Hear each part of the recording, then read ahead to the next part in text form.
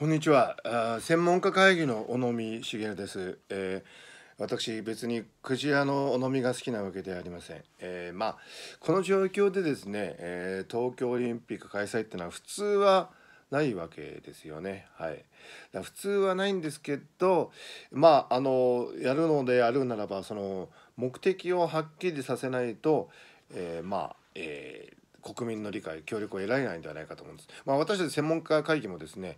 これだけ無能で何の対策もできてないってまあ普通はないわけですよね。普通はないんですけれども、まあ、我々たち専門家会議のですね、えーまあ、設置の、えー、目的をですねこれを説明しないと国民の皆様の、えー、理解を得られないと思うんですけど私たち専門家会議の、え、まあ、設置の目的は特にありません。はいで私としてはあの、えーまあ、オリンピックをですね、えー、やる上ではもうどうやるのであれば最小限にとどめるべきだと思うんですね。もうもうサイズをとにかくなるべく小さくして、えー、オリンピックをやるべきだと私は思うんです。例えばですね、え、バレーボール、え、これ1チームですね6人もいるなんてとんでもないわけです。私たちから考えるとですね、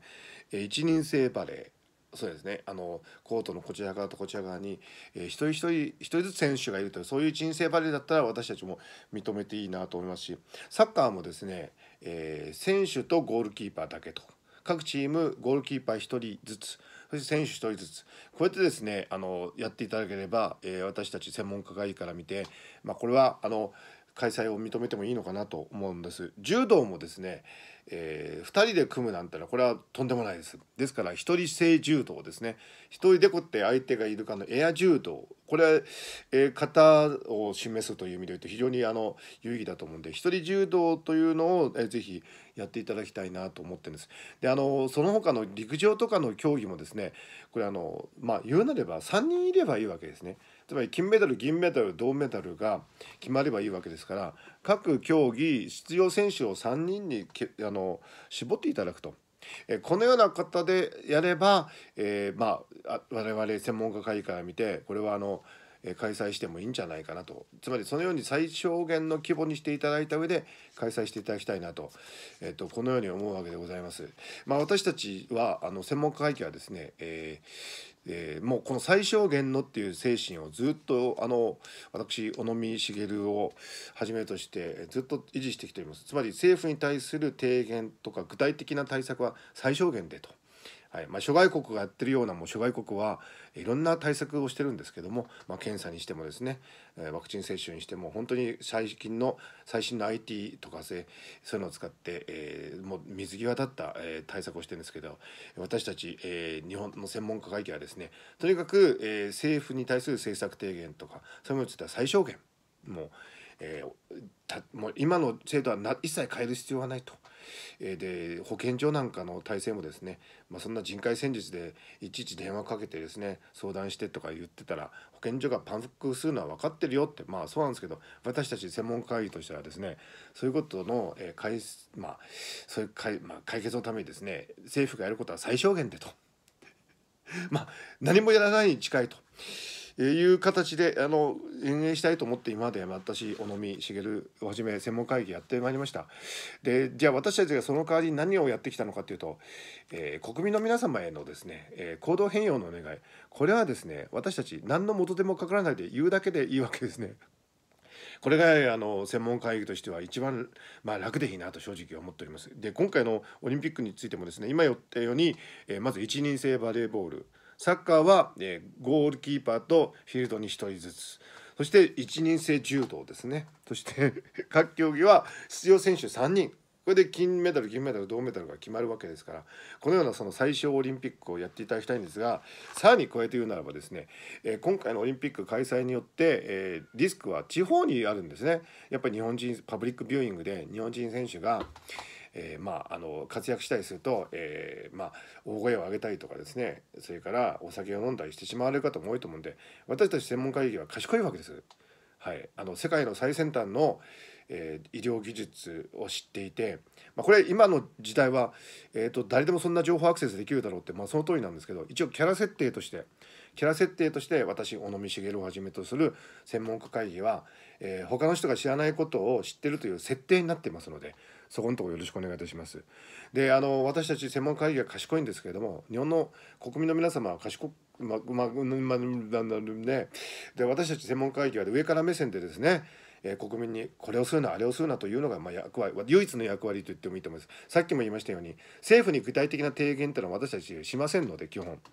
まあ、今までの通りでなんとか回していくっていうのは私たちのやり方なんでだからそこで水際だった新しい技術とかないです。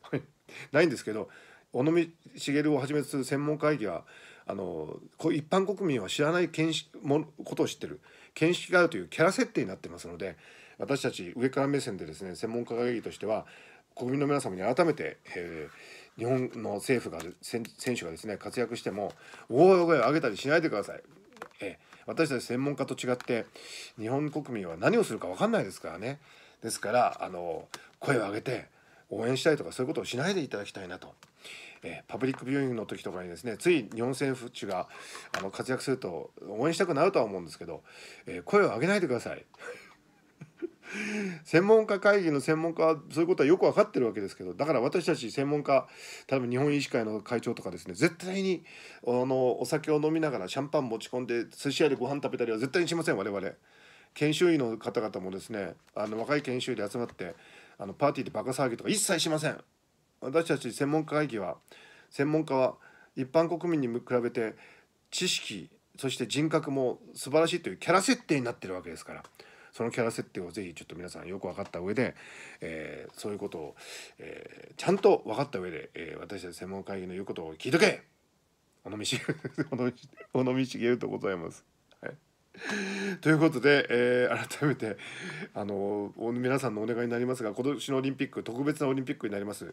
えー、開催規模を最小化してですね、えー、一人制バレーボール。もういいですか？言わなくても。サッカーは、えー、ボールキーパー1人フィールドに1人そして柔道は1人柔道ということであの開催されますので、えー、それでも、えー、私たち専門会議は何もしませんけども今まで通りですね何もしませんが、えー、一般国民に行動変容だけはいい加減、まあ、私の口だけですかこれ。言うだけで簡単なんでね言わせていただきますけどおめえらいいか騒ぐんじゃねえぞ。以上会長、えー全てを知っているというキャラ設定になっている立派な人というキャラ設定になっています尾道茂から、えー、一般国民の皆様へのお願いでした。尾道茂のお願い聞いてね。はいよろしいですか？これで収録よろしいんですか？はいありがとうございます。まあ今回ねオリンピックについてあい発言したことで一部の方からからはねあのまあよく言ったとかねあの言ってる人はいるんですけどまあ私も思いますよ。なんかお前らそんなこういう時点になってよく言ったとか言われるようなことやるよりもその前にやっとけって言われるんですけどまあ私たち専門家会議はね。実質何もやんなくてもいいキャラ設定になってんですよ。いや日本の専門家会議ってのは楽ですね。ありがとうございました。